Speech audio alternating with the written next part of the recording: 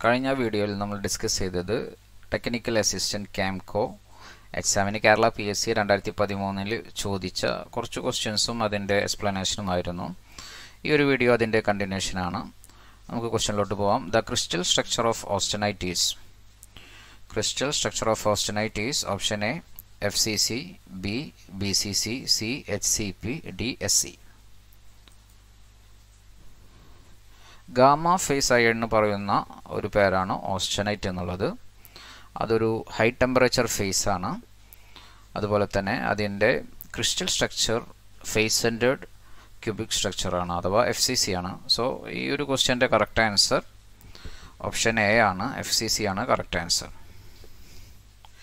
അതുപോലെ തന്നെ മനസ്സിലാക്കേണ്ട മറ്റൊരു കാര്യമാണ് ആൽഫ ഫേസ്. ആൽഫ ഫേസ് അഥവാ ഫെറൈറ്റ് എന്നാണ് അറിയപ്പെടുന്നത്. ആൽഫ ഫെറൈറ്റ് എന്നറിയപ്പെടുന്ന ഒരു ഫേസ്. അത് ഒരു കോമൺ കോൺസ്റ്റിറ്റ്വന്റ് ആണ്. സ്റ്റീലിലെ കോമൺ കോൺസ്റ്റിറ്റ്വന്റ് ആണ് ഫെറൈറ്റ് എന്നുള്ളത്. അതിന്റെ ക്രിസ്റ്റൽ സ്ട്രക്ചർ ഓർത്തിരിക്കുക. ബോഡി സെന്റേഡ് ക്യൂബിക് സ്ട്രക്ചറാണ് ഇതിന് പുറമെ മനസ്സിലാക്കേണ്ട മറ്റൊരു ഫേസാണ് ഡെൽറ്റ ഫെറൈറ്റ്.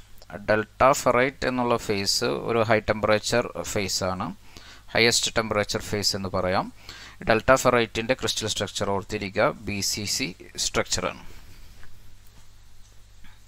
ഇത്രയും കാര്യങ്ങളാണ് ഈ ഒരു ക്വസ്റ്റ്യനുമായി ബന്ധപ്പെട്ട് ഓർത്തിരിക്കേണ്ടത്. നമുക്കിനി അടുത്ത ക്വസ്റ്റ്യനിലോട്ട് പോവാം. What is the power overlap in degrees of a six cylinder engine in cycle of operation ഇതും സെയിം എക്സാമിന് ചോദിച്ച ക്വസ്റ്റ്യൻ തന്നെയാണ്. ഓട്ടോമൊബൈൽ സെക്ഷനിൽ നിന്നാണ് ഈ ഒരു ക്വസ്റ്റ്യൻ ചോദിച്ചിട്ടുള്ളത്. What is the power overlap in degrees of a six cylinder engine in cycle of operation? Option a 90 degree b 60 degree c 120 degree d 135 degree. ആദ്യമായി എന്താണ് പവർ ഓവർലാപ്പ് എന്ന് നോക്കാം. പവർ ഓവർലാപ്പ് എന്ന് പറഞ്ഞാൽ it is the time of availability of power output from two cylinders simultaneously രണ്ടോ അതിലധികം കൂടുതൽ സിലിണ്ടറിൽ നിന്ന് പവർ പ്രൊഡ്യൂസ് ചെയ്യുന്ന ടൈം ആ ടൈം സ്പെസിഫൈ ചെയ്യുന്നത് ആംഗിളാണ് സോ അതാണ് പവർ ഓവർലാപ്പ് എന്നുള്ളത്. കൂടുതൽ സിലിണ്ടർ പവർ പ്രൊഡ്യൂസ് ചെയ്യുമ്പോൾ കൂടുതൽ പവർ ഓവർലാപ്പ് നമുക്ക് ലഭിക്കുന്നു. കൂടുതൽ പവർ ഓവർലാപ്പ് ലഭിച്ചു കഴിഞ്ഞാൽ ഓപ്പറേഷൻ സ്മൂത്തർ ആയിരിക്കും.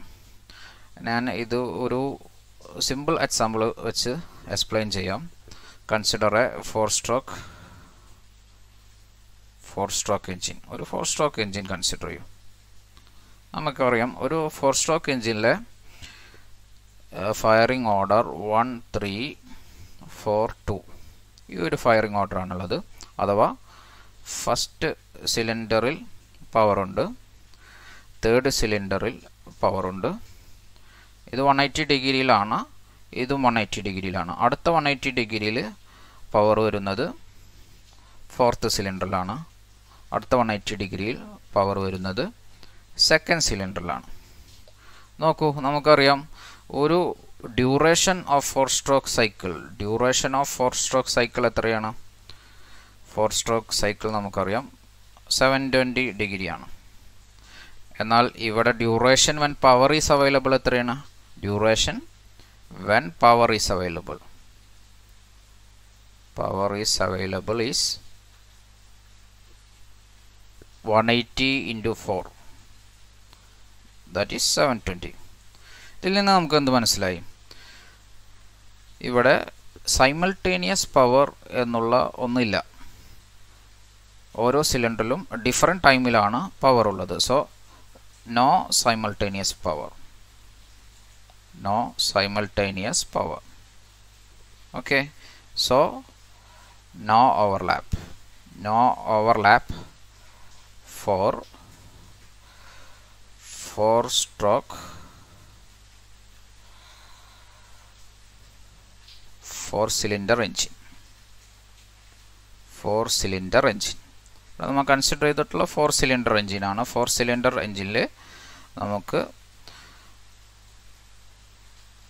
overlap ലഭിക്കുന്നില്ല. ഓക്കെ.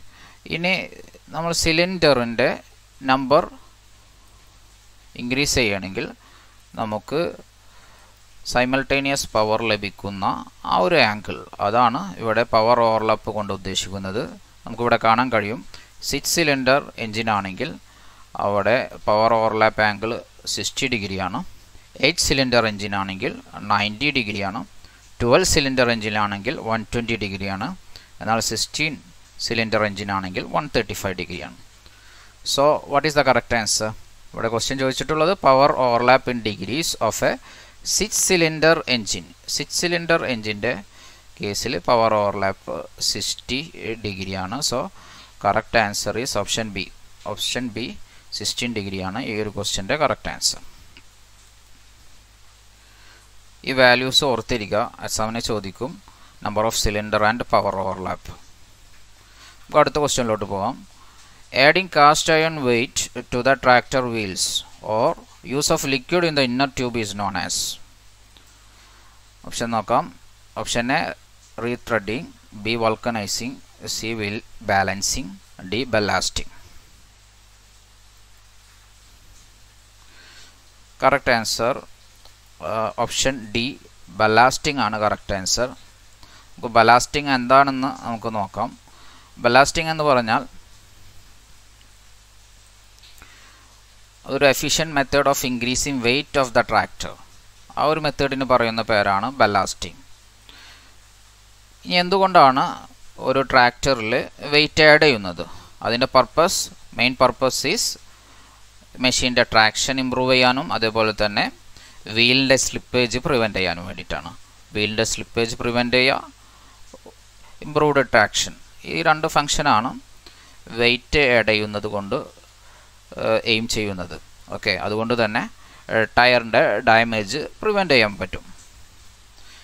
ഏളിയർ ട്രാക്ടേഴ്സിൽ ലിക്വിഡ് ബല്ലാസ്റ്റ് ആയിരുന്നു യൂസ് ചെയ്തിരുന്നത്. അഥവാ കാൽഷ്യം ക്ലോറൈഡ് പോലെയുള്ള ലിക്വിഡാണ് മെയിനായിട്ട് യൂസ് ചെയ്തിരുന്നത്. കാൽഷ്യം ക്ലോറൈഡിന്റെ പ്രത്യേകത അതൊരു ഹെവി ലിക്വിഡാണ് അതുപോലെ തന്നെ അത് ഫ്രീസ് ചെയ്യില്ല. എന്നാൽ കാസ്റ്റ് അയൺ വെയിറ്റ് ആണ്. റീസെന്റ് ഇയർ ട്രാക്ടേഴ്സിൽ ബലാസ്റ്റിംഗ് പർപ്പസിന് വേണ്ടി യൂസ് ചെയ്യുന്നത്. ഓക്കെ സോ ഇത്രയും കാര്യങ്ങൾ ഈ ഒരു ക്വസ്റ്റ്യനുമായി അനുബന്ധിച്ച് മനസ്സിലാക്കി വെക്കുക ഓർത്തിരിക്കുക. Adding cast iron weight to the tractor wheel or use of liquid in the inner tube is known as correct answer option D ആണ് ബലാസ്റ്റിംഗ് ആണ്. ഈ ഒരു വെയിറ്റ് അടയുന്ന ഈ ഒരു പ്രോസസ്സിന് പറയുന്ന പേര്. അതിന്റെ പ്രധാനപ്പെട്ട പർപ്പസ് മെഷീൻ ട്രാക്ഷൻ ഇമ്പ്രൂവ് ചെയ്യുക അതുപോലെ തന്നെ വീൽ സ്ലിപ്പേജ് പ്രിവെന്റ് ചെയ്യുക എന്നുള്ളതാണ് എന്നുകൂടെ ഓർത്തിരിക്കുക. ഇത്രയും കാര്യങ്ങളാണ് ഈ ഒരു ചെറിയ ഒരു വീഡിയോയിൽ നമുക്ക് ഡിസ്കസ് ചെയ്യാനുള്ളത്. കൂടുതൽ വീഡിയോസിനായി നിക്കൽ ഓറിയന്റഡ് ആയിട്ടുള്ള എക്സാമിന് വേണ്ടിയുള്ള പ്രിപ്പറേഷനുമായി ബന്ധപ്പെട്ട കാര്യങ്ങൾ ഡിസ്കസ് ചെയ്യുന്ന ഒരു ചാനലാണ് കൂടുതൽ വീഡിയോസിന് വേണ്ടി ഒരു ചാനൽ നിങ്ങൾ സബ്സ്ക്രൈബ് ചെയ്യുക. Thanks for watching